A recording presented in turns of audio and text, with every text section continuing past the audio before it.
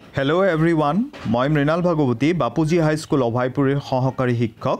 মোৰ এই ভিডিঅ'টোলৈকে ক্লাছ টেনৰ আটাইবোৰ ছাত্ৰ ছাত্ৰীকে স্বাগতম জনাইছোঁ। এই ভিডিঅ'টোত মই তোমালোকৰ সৈতে তোমালোকৰ গণিতৰ পাঠ্যপুথিৰ অনুশীলনী থ্ৰী পইণ্ট টুৰ সাত নম্বৰ প্ৰশ্নটোৰ বিষয়ে আলোচনা কৰিম। তেতিয়াহ'লে প্ৰশ্ন আমি প্ৰশ্নটো কি দিছে চাই লওঁ। স্ক্ৰীণত তোমালোকে প্ৰশ্নটো দেখিছা। ইয়াত চোৱা X minus Y plus one equal to zero' আৰু thrice X plus two Y minus twelve equal to zero' সমীকৰণ দুটাৰ লেখ অংকন কৰা। তেতিয়াহ'লে আমাক ইয়াত দুটা সমীকৰণ দিয়া আছে আৰু এই সমীকৰণ দুটাৰ দুডাল লেখ আমি প্ৰথমে অংকন কৰিব লাগে। তাৰপিছত কি কৈছে চোৱা এই ৰেখা দুটাই এক্স অক্ষৰ লগত কৰা ত্ৰিভুজটোৰ শীৰ্ষবিন্দুকেইটাৰ স্থানাংক উলিয়া। এতিয়া এই লেখ দুডালে বা ৰেখা দুডালে এক্স অক্ষৰ লগত এটা ত্ৰিভুজ উৎপন্ন কৰিব আৰু সেই ত্ৰিভুজটোৰ শীৰ্ষবিন্দুকেইটাৰ আমি স্থানাংক উলিয়াব লাগিব। আৰু তিনি নম্বৰ কামটো আমি কি কৰিব লাগিব? ত্ৰিভুজীয় ক্ষেত্ৰত প্ৰচ্ছাদিত কৰা। ত্ৰিভুজীয় ক্ষেত্ৰটো যাতে আমি আমাৰ চকুত পৰে সহজে তাৰ কাৰণে এইটো প্ৰচ্ছাদিত কৰিব দিছে শ্বেডিং কৰিব দিছে। তেতিয়াহ'লে আহা আমি কামখিনি কৰি লওঁ। কেনেকৈ কৰিম চোৱা। প্ৰথম আমাক এইটো এটা সমীকৰণ দিয়া আছে। এইটো এক নম্বৰ সমীকৰণ। এই X minus Y plus one equal to zero' এই এক নম্বৰ সমীকৰণটোৰ পৰা আমি এক্স ইকুৱেল টু কি পাওঁ? ৱাই মাইনাছ ওৱান পাওঁ। আৰু এইটো পাওঁ। এতিয়া ইয়াতে আমি ৱাইৰ ঠাইত জিৰ' বহুৱাই দিছোঁ। ৱাইৰ ঠাইত জিৰ' বহুৱাই দিয়া এই ৱাই যে আছে ৱাইৰ ঠাইত জিৰ' বহুৱাই দিয়া। তেতিয়া এক্স ইকুৱেল টু কিমান ওলাইছে? মাইনাছ ওৱান নেক্সট টাইম আমি কি কৰিছোঁ? ৱাইৰ ঠাইত মাইনাছ ওৱান বহুৱাইছোঁ। ৱাইৰ ঠাইত মাইনাছ ওৱান বহুৱাই পিনে এক্স ইকুৱেল টু কিমান পালোঁ? মাইনাছ টু পালোঁ। গতিকে আমাৰ এটা বিন্দু কি পালোঁ? প্ৰথম বিন্দুটো আমি এই বিন্দু হিচাপে লৈছোঁ। এইটো যাৰ এক স্থানাংক মাইনাছ ওৱান আৰু জিৰ' আৰু দুই নম্বৰটো আমি দুই নম্বৰটো আমি বি বিন্দু হিচাপে লৈছোঁ আৰু ইয়াৰ এক স্থানাংক মাইনাছ টু আৰু ৱাই স্থানাংক আমি মাইনাছ ওৱান পাইছোঁ। এইবাৰ নেক্সট আমাৰ কাম কি হ'ব? এই বিন্দুকেইটা আমি লেখ কাগজত পাতিব লাগিব বহুৱাব লাগিব। চোৱা কি লিখা হৈছে? লেখ কাগজত এ লেখ কাগজত লেখ কাগজত এ ব্ৰেকেটৰ ভিতৰত মাইনাছ ওৱান কমা জিৰ' আৰু B minus one comma two বিন্দু দুটা পাতি লোৱা হ'ল। এ আৰু বিন্দু বি এ আৰু বি বিন্দু সংযোগ কৰি পোৱা চি ডি ৰেখাই হ'ল এক নং সমীকৰণৰ লেখ। এই বিন্দু দুটা আমি লেখ কাগজত স্থাপন কৰিম তাৰপিছত বিন্দু দুটা স্কেলেৰে লগ লগাই দিবা। দি পিনে আমি এডাল ৰেখা পাম আৰু সেই ৰেখাডাল আমি চি ডি হিচাপে নাম দিম। তাৰপিছত চোৱা দুই নম্বৰ সমীকৰণটো।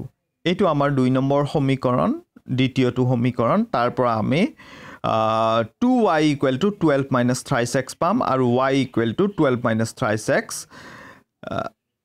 by two পাম। এইবাৰ এক্সৰ ঠাইত আমি টু লৈছোঁ। এই এক্সৰ ঠাইত টু বহুৱাই দিছোঁ। দি পিনে ওপৰত কিমান পালোঁ? Twelve minus three into two আৰু তলত টু এইখিনি কৰি পিনে আমি কিমান পালোঁ? থ্ৰী পালোঁ। তাৰমানে এক্সৰ মান যেতিয়া টু লৈছোঁ তেতিয়া ৱাইৰ মান কিমান পাইছোঁ? থ্ৰী পাইছোঁ। তাৰপিছত আৰু এক্সৰ মান এইবাৰ ফ'ৰ বহুৱাই চাইছোঁ। এইটো ফ'ৰ ফ'ৰ বহুৱাই পিনে কেলকুলেশ্যন কৰি পিনে ৱাইৰ মান কিমান পালোঁ? জিৰ' পালোঁ।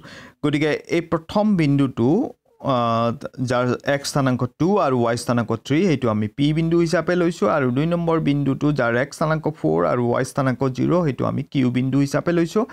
তাৰপিছত আমি কি কৰিম? একেখন লেখ কাগজত লেখ কাগজ বেলেগ ল'ব নোৱাৰা। প্ৰথম সমীকৰণটোৰ কাৰণে এখন বেলেগ লেখ কাগজ আৰু দ্বিতীয় সমীকৰণটোৰ কাৰণে এখন বেলেগ লেখ কাগজ হ'ব নোৱাৰে। দুয়োটা সমীকৰণৰ লেখ আঁকিবলৈ তুমি একেখন লেখ কাগজ আৰু একেযোৰ অক্ষয় ব্যৱহাৰ কৰিব লাগিব। তেতিয়াহ'লে আগৰ সেই লেখ কাগজখনতে আৰু সেই অক্ষ দুডালে ব্যৱহাৰ কৰি পিনে আমি এইবাৰ পি আৰু কিউ বিন্দু দুটা পাতি লৈছোঁ। আৰু এই পি আৰু কিন্দু কিউ বিন্দু দুটা আমি আগত কৰাৰ দৰে স্কেলেৰে লগ লগাই পিনে এডাল ৰেখা পাম আৰ এছ এডাল ৰেখা পাম আৰু সেই ৰেখাডালে হ'ব দুই নং সমীকৰণৰ লেখ আৰু সেই ৰেখাডাল আমি আৰ এছ বুলি চিহ্নিত কৰিছোঁ। ঠিক আছে এই কামখিনি আমি চাই লওঁ। চিত্ৰটোত গ্ৰাফ পেপাৰত গ্ৰাফ কৰোঁ আগৰ দৰে আমি কি ল'ব লাগিব? স্কেলটো মষ্ট ইম্পৰ্টেণ্ট এইটো পাহৰি নাযাবা। পাঁচটা সৰু বৰ্গৰ বাহুৰ পাঁচটা সৰু বৰ্গৰ বাহুৰ দিশ ইকুৱেল টু এক একক লৈছোঁ। এনেকৈ ল'লে আমাৰ সুবিধা হয়। তাৰপিছত আৰু এটা কথা মনত ৰাখিবা যিমান পাৰি এক্স স্থানাংক ৱাই স্থানাংক এক্স আৰু ৱাইৰ মানবোৰ ভগ্নাংশ ল'বলৈ চেষ্টা নকৰিবা। সেই মানবিলাক এভইড কৰিবা তেতিয়া আমাৰ কিছু অসুবিধাৰ সৃষ্টি হয় হিচাপ কৰোঁতে। আৰু এটা কথা মনত ৰাখিবা যে মানবোৰ খুব বেছি ডাঙৰ যাতে নহয় কাৰণ তোমাৰ গ্ৰাফ পেপাৰখনত লিমিটেড স্পেচ আছে। এই ঠাইখিনিত যাতে আমি লোৱা মানবিলাক সুন্দৰকৈ দেখুৱাব পাৰোঁ সেই কথাটোৰ প্ৰতিও তোমালোকে লক্ষ্য ৰাখিবা। ঠিক আছে তাৰপিছত আমি দুডাল অক্ষত আনিছোঁ পথালিডাল আমাৰ এক্স অক্ষ আৰু উলম্বভাৱে থিয়কৈ থকা অক্ষডাল ৱাই অক্ষ। তাৰপিছত অক্ষ দুডাল অঁকাৰ পিছত আমি পাঁচটা সৰু বৰ্গৰ বাহুৰ দিশক এক একক হিচাপে লৈ পিনে কামখিনি কৰিছোঁ। চাবা এইটো য'ত মূলবিন্দু মূলবিন্দুৰ পৰা one two three four five ফাইভৰ পিছত ইয়াতে ওৱান বুলি লিখিছোঁ। তাৰপিছত আৰু ফাইভ গ'লে টু হ'ব। তেনেকৈ ওপৰতো এনেকুৱা ওপৰতো এনেকুৱা এইটো আমাৰ মূলবিন্দু তাৰ পৰা one two three four five minus one বুলি লিখিছোঁ কাষত চোৱা তেনেকৈ তলতো এনেকুৱা। One two three four five minus one লিখিছোঁ। এইটো ওৱান দেই মাইনাছ ওৱান নহয়। মই সৰু কৰি দিওঁ তেতিয়া গম পাবা। তো এইখিনি তোমালোকৰ ক'বলগীয়া নাই। তথাপিও মই এবাৰ কৈ দিছোঁ মূল বিন্দুৰ পৰা এক চক্ষত সপিনে থকাবিলাক ধনাত্মক এক চক্ষত মূল বিন্দুৰ বাওপিনে থকাবিলাক ঋণাত্মক। তাৰপিছত মূল বিন্দুৰ পৰা ৱাই অক্ষত ওপৰত থকাবিলাক ধনাত্মক আৰু মূল বিন্দুৰ পৰা ৱাই অক্ষত তলত থকাবিলাক ঋণাত্মক। এইবাৰ আমি কি বহুৱাম? এ আৰু বি বিন্দু। এৰ এই বিন্দুৰ স্থানাংক কিমান? মাইনাছ ওৱান কমা জিৰ' আৰু বি বিন্দুৰ স্থানাংক মাইনাছ টু কমা ওৱান এইটো চাম। মাইনাছ ওৱান জিৰ' এক্স স্থানাংক কিমান?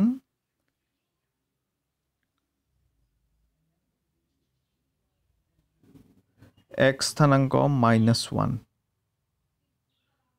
মাইনাছ ওৱান তাৰমানে মূল বিন্দু এইটো তাৰ পৰা বাওপিনে আহা। এক ঘৰ। মাইনাছ ওৱান মাইনাছ চিনটোৰ পৰা আমি বাওপিনে বুলি গম পাওঁ। ইয়াত তলত লিখাও আছে চোৱা মাইনাছ ওৱান হয়নে? আচ্ছা মাইনাছ ওৱান জিৰ' গতিকে আৰু ক'তো যাব নালাগে তাতে থাকা। তাৰপিছত বি বিন্দুৰ স্থানাংক মাইনাছ টু মাইনাছ ওৱান কেইঘৰ আহিবা? মূল বিন্দুৰ পৰা। এইটো মূল বিন্দু মাইনাছ ওৱান মাইনাছ টু গতিকে এক স্থানাংক মাইনাছ টু আহিলোঁ। তাৰপিছত ৱাই স্থানাংক মাইনাছ ওৱান তলত আহিব লাগিব এইটো। তাৰমানে এইটো। এইবাৰ এই দুটা এনেকৈ স্কেলেৰে লগ লগাই দিয়া। দিছোঁনে স্কেলেৰে লগ লগাই দিয়া হৈছেনে এইটো এ এইটো বি স্কেলেৰে লগ লগাই পিনে এডাল ৰেখা পাইছোঁ আৰু ৰেখাডালৰ মূৰ দুটা চি আৰু ডি বুলি লিখিছোঁ। তে এই চি ডি ৰেখাডালে হ'ল আমাৰ এক নং সমীকৰণৰ লেখ। এইবাৰ দুই নং সমীকৰণৰ কাৰণে আমি কি কৰিম? পি বিন্দুৰ স্থানাংক চাই লওঁ। পি বিন্দুৰ স্থানাংক টু কমা থ্ৰী আৰু কিউ বিন্দুৰ স্থানাংক ফ'ৰ কমা জিৰ' এই দুটা আমি বহুৱাম। আচ্ছা পি বিন্দুৰ স্থানাংক। মূল বিন্দু টু কমা থ্ৰী এক্স স্থানাংক টু ওৱান টু ৱাই স্থানাংক থ্ৰী ওৱান টু থ্ৰী গতিকে এই বিন্দুটো তাৰপিছত ফ'ৰ কমা জিৰ' এক্স স্থান স্থানাংক ফ'ৰ কিউ বিন্দুৰ আৰু ৱাই স্থানাংক zero four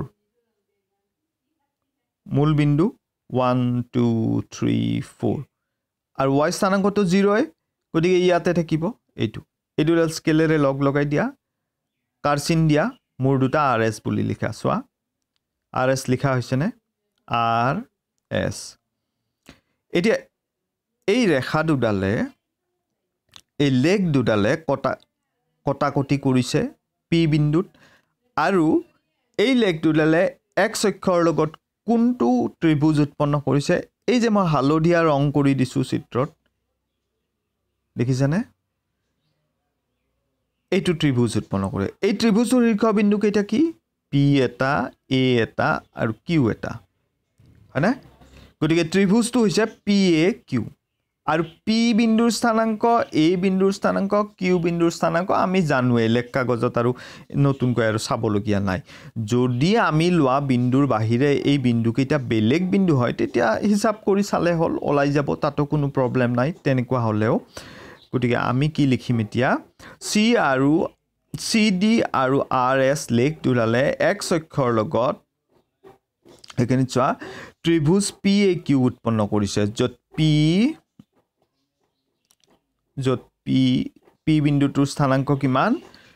two comma three এ এ বিন্দুৰ স্থানাংক কিমান? মাইনাছ ওৱান জিৰ' আৰু কিউ তাৰ স্থানাংক কি? ফ'ৰ কমা জিৰ' হৈ গ'ল আমাৰ এই কামখিনি আৰু আমাক এই ত্ৰিভুজটো প্ৰচ্ছাদিত কৰিব দিছিল। আমি হালধীয়া ৰং দি এনেকৈ প্ৰচ্ছাদিত কৰিছোঁ। তোমালোকে এই কামখিনি কাঠ পেঞ্চিলৰ সহায়ত কৰিব পৰা।